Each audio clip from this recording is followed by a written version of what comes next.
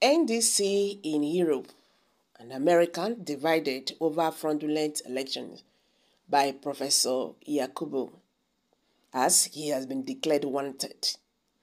Apparently angry about the electoral fraud that marred the 2023 general elections, members of a group under the aegis of Nigerian diaspora committees in Europe and America have resolved to hold a review meeting to assess the conduct of the elections under the leadership under leadership of chairman of Independent National Electoral Commission INEC and take necessary action. According to the group, it it would amount to acts of cowardness if Nigerians in diaspora not to speak and discuss the worrisome problems surrounding the conduct of the 2023 election.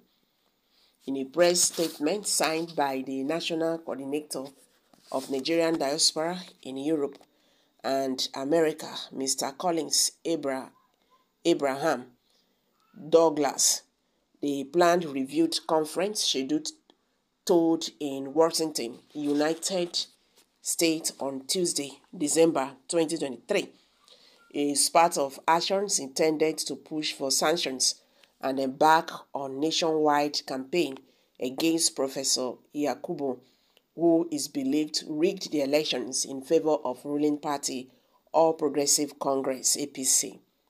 The group also said discussions are expected among members on need for international communities to impose sanctions on President Ahmed Bola Tinubu and Professor Yakubu taking Nigerians who they claimed took Nigerians for granted. Though the statement revealed that the group appealed, appeared divided over whether the elections are marred with fraud or not, and some members hold the view that the elections are relatively fair, and the, the leadership said there are indications that the review meeting will afford members to critically discuss the controversial issues and arrive at a resolution. While calling on Nigerians to join them to rid, uh, the INEC of alleged bad heads and corrupt leaders, it said democracy and corrupt leaders is a borrowed government of the people. Okay, please pardon me. Why calling on Nigerians to join them to rid INEC of alleged bad heads and corrupt leaders?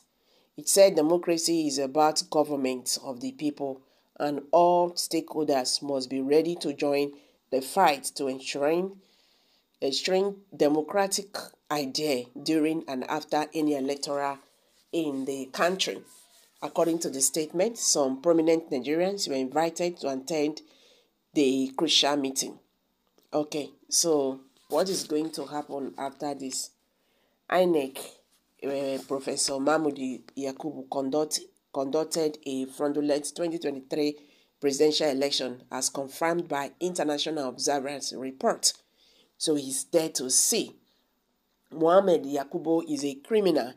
Okay, these are reactions from Nigerians. So someone said, um, someone said yeah, Igbos are different types of uh, organizations. So Igbos gradually are pained and disillusioned of one of them losing an election.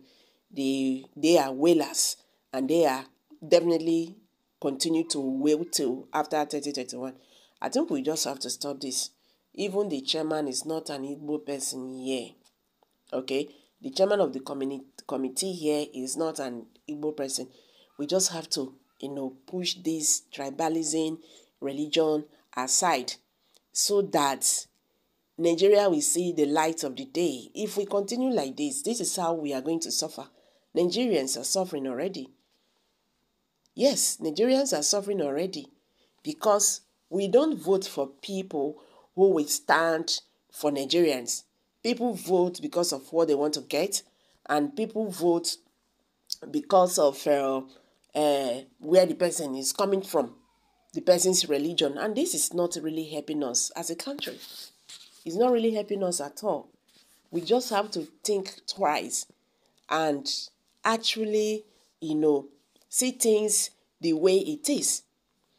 If I may ask, can we say that that election was, you know, free and fair election? That election, that election won't be like a child's play. Can we say that election was free and fair election? At least, even international reporters, they said that election had issues. You understand? That election has issues.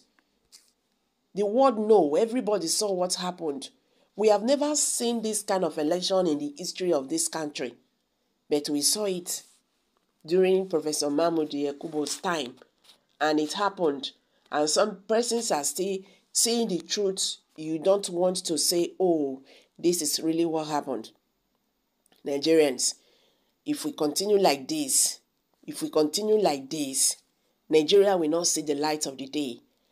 It is good when you do something bad, when you do something not right, there must be sanction so that people it, it will it will serve as a deterrent to other persons.